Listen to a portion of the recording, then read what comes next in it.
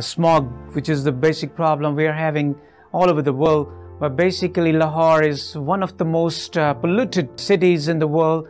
क्योंकि सेहत से है जिंदगी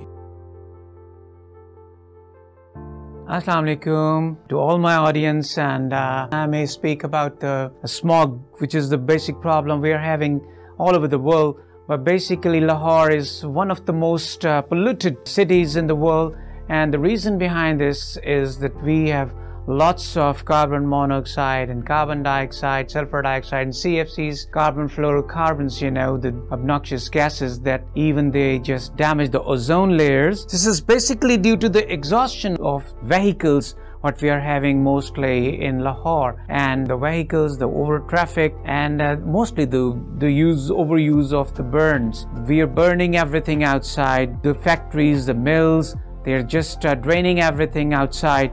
So they are all the pollutants. How to protect them? They're, they're affecting our nose, ears, eyes, and respiratory tracts. So we are having health problems, health issues.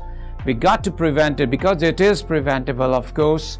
And uh, if we reduce everything, reduce our journeys through cars and uh, the combustion of the vehicles, if we get the green vehicles, and reduction of the burning of the fuels outside, woods outside, so we can reduce this and make Pakistan allergy free and smog free.